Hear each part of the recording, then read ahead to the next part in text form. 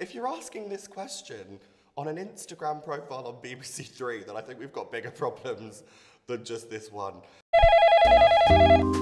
Please leave a message after the tone. Hi, it's me, Tia Kofi, because Lawrence Chaney was unavailable, and I'm here to solve some of your problems. Mm. I found dating apps on my husband's phone. What do I do? Well, this question sounds like it came from me. Uh, shout out to my ex-boyfriend, Mark, wherever you are. I hope you're crying. Um, but realistically, your husband sounds like a dick, so you should probably confront him. Help! I'm addicted to sniffing my earrings. Why? Why?